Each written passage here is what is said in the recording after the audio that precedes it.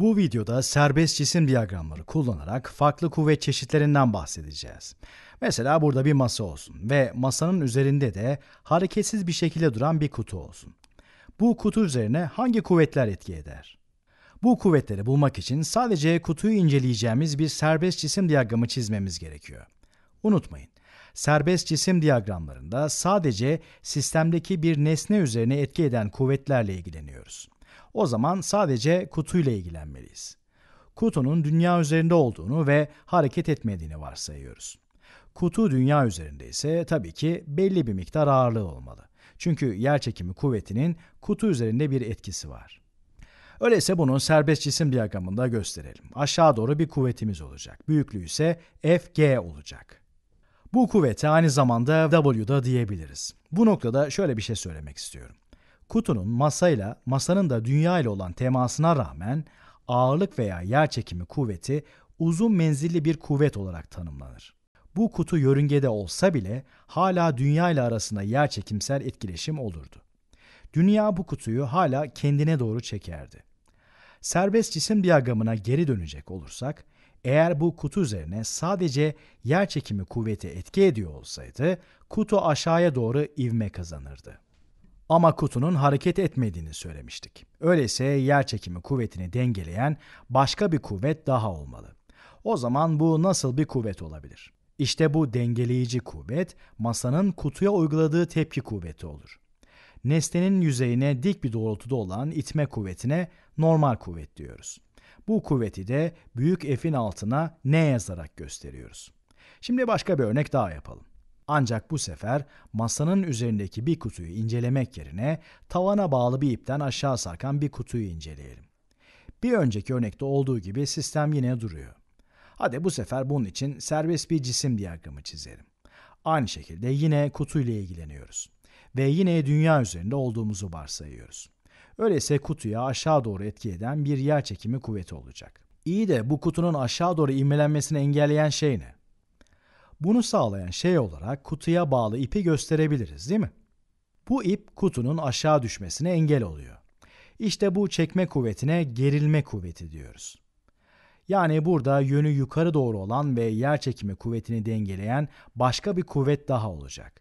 Bu kuvveti bazen büyük T harfiyle ya da Ft şeklinde gösteriyoruz. İşleri biraz daha ilginç bir hale getirelim. Bu iki durumu birleştirmeye çalışalım ve yeni bir kuvvet daha tanıyalım. Mesela burası yüzeyimiz olsun. Ve bu yüzeyin üzerine şöyle bir kutu koyalım. Bu seferki durumda kutuyu bir ip yardımıyla çekelim. Çekerken de uyguladığımız kuvvetin büyüklüğü diyelim ki gerilme kuvveti olsun. Bakın şimdi kutuyu bu şekilde çekiyoruz. Ama kutu hareket etmiyor. Kutunun serbest cisim diyagramını nasıl çizebiliriz? Yine aynı şekilde yapacağız. Önce şuraya kutuyu çizelim. Bakın düşey doğrultuda ilk örnekteki durumun aynısı gerçekleşiyor. Yer çekimi kuvveti ya da kutunun ağırlığı kutuyu aşağı doğru çekiyor. Bu kuvveti de yüzeyin kutuya uyguladığı normal kuvvet dengeliyor. Sanki yüzey kutuyu tutuyormuş gibi de düşünebilirsiniz. Aşağı doğru ivmelenmesine engel oluyor. Peki, yatay eksendeki kuvvetler için ne söyleyebiliriz? Kutuyu sağa doğru bir Ft kuvvetiyle çektiğimizi söylemiştik. Bunu şöyle serbest cisim diyagramında gösterelim. Bu kuvvet Ft kuvveti. Dikkat edin, aynı zamanda sistemin dengede olduğunu da söylemiştik. Dolayısıyla sağ tarafı olan bu kuvveti dengeleyen başka bir kuvvet daha olmalı. Bu kuvvet ne kuvveti olur sizce? Evet doğru bildiniz. Bu kuvvete sürtünme kuvveti diyoruz. Bazen bir şeyi ne kadar çekersek çekelim hareket etmemesinin sebebi nesne ile yüzey arasında sürtünme olmasından kaynaklanıyor. Sürtünme ise iki yüzey arasının pürüzlü olmasından dolayı ortaya çıkıyor. Çekmeye çalıştığımız zaman da pürüzlü iki yüzey birbirlerinin hareketlerini kısıtlıyor. Ama bazen moleküller etkileşimlerden de kaynaklı olabiliyor. Bazı durumlarda birbirlerine çok yapışık olabiliyorlar. Bazen nesneler birbirlerini çekiyorlar ve bu çekimden dolayı hareket ettirmek zorlaşıyor. Dolayısıyla bu durumda çekme kuvveti olan gerilme kuvvetini sürtünme kuvveti dengeliyor. Sürtünme kuvveti aslına bakarsanız çok ilginç bir şey. Çünkü her zaman kaymanın olduğu yönün yani hareket yönünün tersi yönüne doğru etki ediyor. Bu örneklerdeki durumları incelediğimize göre artık daha karmaşık bir senaryo üzerinde çalışabiliriz. Diyelim ki elimizde ağırlığı 10 Newton olan bir raf olsun. Bu raf üzerine de ağırlığı 5 Newton olan bir nesne koyalım. Elimizde iki de kablomuz olsun. Ve her şeyin simetrik olduğunu da ekleyelim.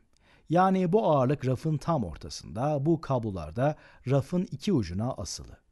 Bu kablo 1 ve kablo 2. Kabloları şöyle tavana bağlayalım. Şimdilik işimizi kolaylaştırsın diye kabloların ağırlığının olmadığını kabul edelim. Normalde elbette ağırlıkları olacak. Ama bu örnekte ağırlıksız olduklarını kabul edelim. Raf üzerindeki bu 5 Newton'luk ağırlığın serbest cisim diyagramını çizelim. Bu aslında oldukça basit ve ilk örnekteki durumun neredeyse aynısı. Kutunun üzerine 5 Newton'luk bir yerçekimi kuvveti etki ediyor. Bu kuvvetle aynı büyüklükte bir normal kuvvette ters yönde yerçekimi kuvvetini dengeliyor. Şimdi bu kuvvet yukarı yönlü 5 Newton'luk normal kuvvetle dengeleniyor. Buradaki 5 Newton nesnenin ağırlığına, ağırlığının büyüklüğüne eşit. Bu oldukça basit bir durum oldu. Kutunun serbest cisim diyagramını kolayca çizebildik. Burada şunu fark etmenizi istiyorum. Dikkat ederseniz serbest cisim diyagramında sadece kutuyu çizmiş olduk.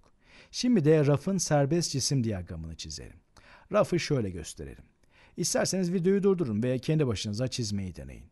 Ağırlığın 10 Newton olduğunu biliyoruz. O zaman önce buradan başlayalım. Ağırlığı 10 Newton. Öyleyse kuvvet, yerçekimi kuvvetinin büyüklüğü 10 Newton ve yönü de aşağı doğru olacak. Ama aşağı doğru olan tek kuvvet bu mu? Hayır. Rafın üzerinde duran bir nesnemiz var ve yerçekimi bu nesneyi aşağı doğru 5 Newton'luk bir kuvvetle çekiyor. Ve bu çekim nesnenin rafın üzerine bir kuvvet uygulamasına yol açıyor. Dolayısıyla bu itme kuvveti aslında normal kuvvetimiz oluyor. 5 Newton'luk nesnenin üzerindeki yerçekimi kuvvetinden dolayı ortaya çıkıyor. Ama sonuç olarak 5 Newton'luk nesne rafa kuvvet uyguluyor. Yani elimizde aşağı doğru olan, büyüklüğü de 5 Newton olan başka bir kuvvet daha oluyor. Esasında bunu normal kuvvet olarak düşünmeliyiz. 5 Newton'luk nesnenin 10 Newton'luk rafa uyguladığı itme kuvveti temas kuvveti. O zaman bu kuvvetin büyüklüğü 5 Newton olacak. Sistemin hareketsiz yani dengede olduğunu varsayarsak bu kuvvetleri dengeleyen başka kuvvetler de olmalı. Bu kuvvetler neler? İşte bu kuvvetler kabloların çekme kuvvetiyle ortaya çıkıyor. Yani elimizde ilk kabloda oluşan bir gerilme kuvveti olacak. Buna T1 diyelim. Aynı şekilde ikinci kabloda da bir gerilme kuvveti oluşacak. Buna da T2 diyelim. Sistem dengede olduğu için T1 artı T2 eşittir 10 Newton artı 5 Newton olmalı. Videomuzu artık bu noktada bitirelim. Böylece başlangıç fizik derslerinde görebileceğiniz farklı çeşit kuvvetleri genel olarak işledik.